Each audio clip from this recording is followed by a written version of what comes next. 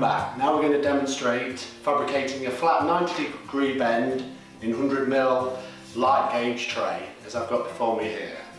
First of all we start by getting it nice and secure in the bender, in the vise rather.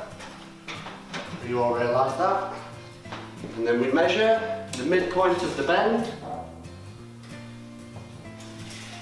mark it, use our engineer square,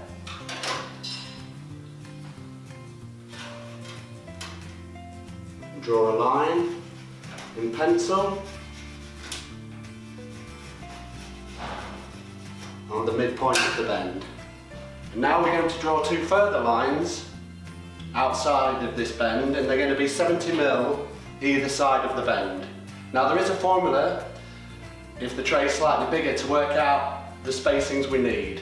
But for the purpose of bending a 100 mil tray, it's 70 mil either side of the midpoint of the bend.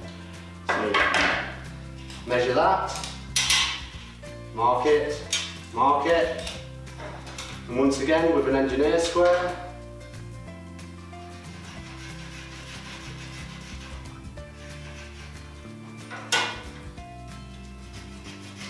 So now we should have three lines on the back of our uh, tray. Two outside and one in the middle. The two outside bends, outside lines rather, we're going to cut down all the way from one lip down to the other lip but leaving it on. I will demonstrate what I mean by this when we get a bit closer. So first things first, we're going to cut using our hacksaw. We cut on the line as well. Try and make sure the tray is nice and secure because it will make our cutting easier and straighter.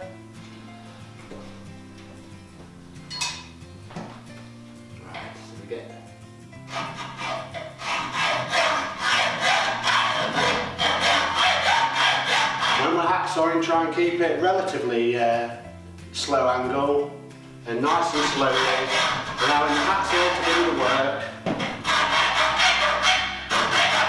And once we've cut our first line, it should look something like that. And then we're to repeat the process down the other outside line. And when we've cut our second line, it should look something like that. Next thing we need to do before we go much further is remove the burrs. Turn it up slightly, not a lot, because the more we move this tray backwards and forwards, the weaker we're making our joint. So just one, move it as little as possible and then run our file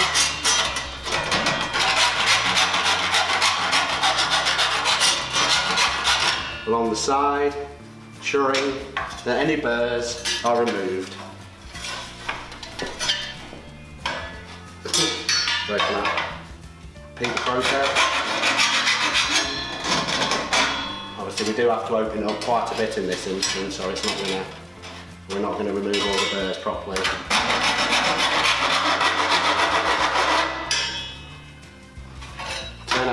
Onto its back.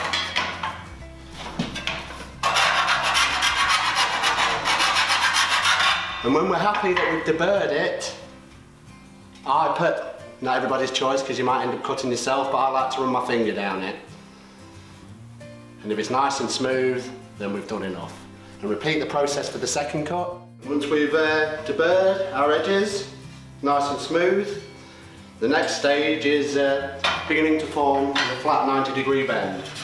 So what we do is we bring one of our outside lengths and bring it in until it meets the uh, line we made in the middle, our midpoint of the bend.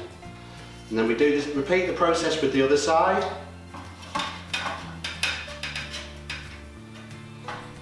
And when we've got it there, we need to take off some of the lip of our tray.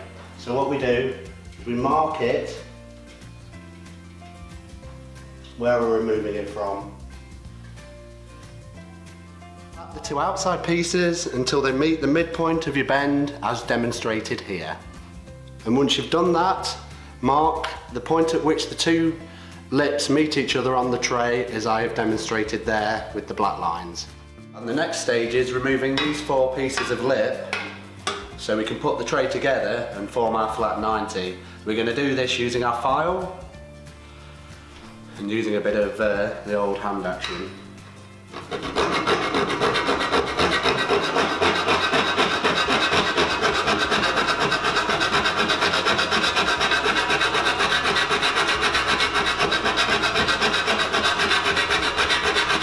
Now this is not something you can overfile because what we're looking for is to bend it backwards and forwards using a pair of pliers and the more we file it, the cleaner the cut and the easier it becomes.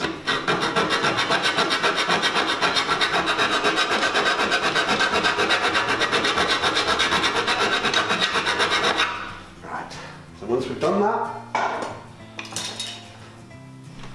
we grab our pliers, bring it backwards, forwards, till it's removed, putting our spare in the bin. Once again,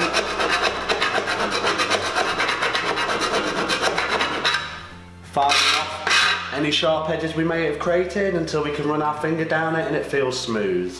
We're then going to repeat the process for this, this and this.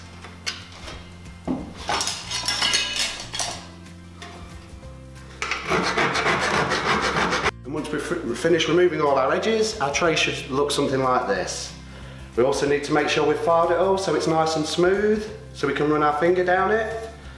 And the next stage is bringing our two bits together, or our, all our bits together to form our 90 degree bend. So it looks something like that. And we're going to fix this together using M6 roofers. The next stage is fixing our tray together. And to ensure that our flat 90 is a 90, we put it against something that we know to be 90 degrees and mark if we need to put any holes in it. And in my instance, I do need to drill some holes in it. You can see where I put my black uh, felt tip. That's where I'll be drilling it for my fixings. Once we've fixed it together, it should look something like that. Now you may feel you need to secure it with more than two roofers, and if you do, that's fine. Obviously be sensible, and I think you'll agree that's one sick right angle bend.